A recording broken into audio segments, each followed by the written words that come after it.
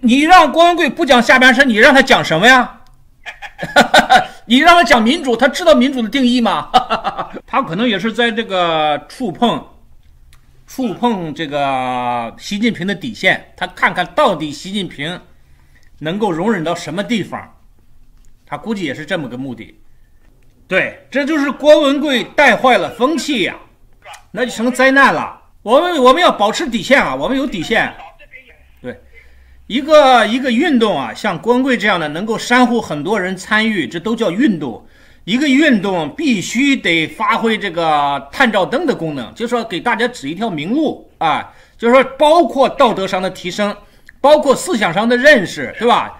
必须得这样。你如果拉着大家走向地狱，大家都是比烂，那不跟共产党一样了吗？你搞个鸡巴有什么好搞的，对吧？性务能劲儿只能就说明没有挖到你的真料，只能拿那个离谱的料给你往你头上愣套。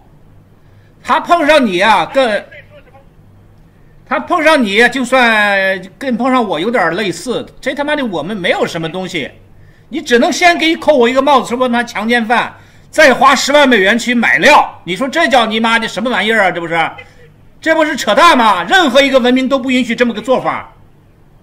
这就是郭文贵的固定套路，他在大陆玩玩流氓黑道就是这一套，你知道吧？他习惯 啊啊，这个在美国和西方国家在加拿大是违法的，这叫骚扰电话，知道吧？哎呀，他就是流氓，他他妈把中把这帮人拉往地狱，他这个这个这个这个狗日的呀，他就是一辈子习惯了啊，就是。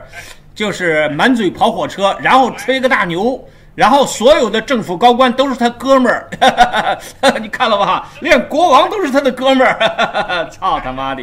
嗯，对，他这也是啊，就就就说明啊，他行骗的对象郭文贵行骗对象素质太差了，真的就是在他的眼里，你们这些人，我只能编到这个层次了。哈哈哈哈你知道我受我我这个受郭文贵的这个这个这个。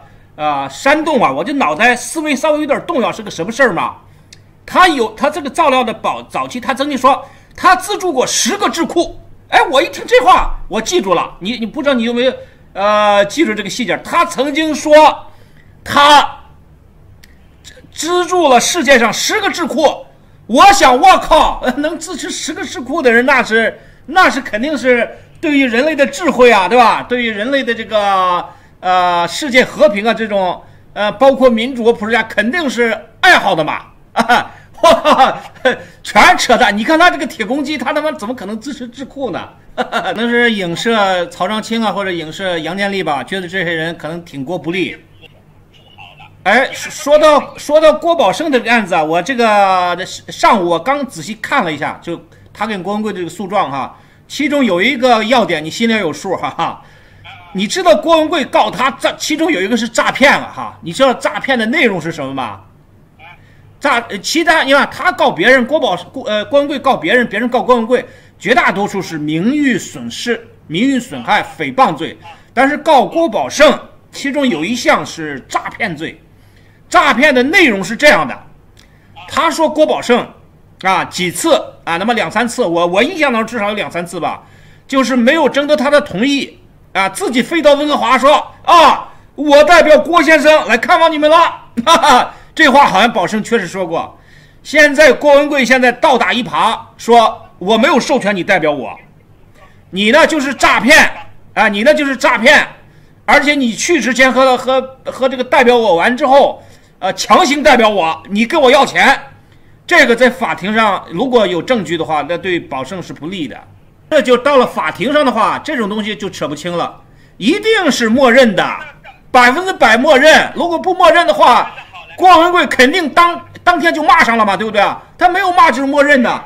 但是现在口无凭证了，现在他就说我他妈没授权你郭宝生去代表我啊！你讲的东西不代表你那水平，你那形象能代表我吗？那就说不清楚了。私下里朋友之间没事儿，一般没事儿啊，最多的大不了解释一下。道歉，但是上了法庭死抠法律字眼的时候，这个就严肃了。这个不不是那么简单，就看抠不抠法律字眼。因为法官，你想啊，法官不知道这情况啊。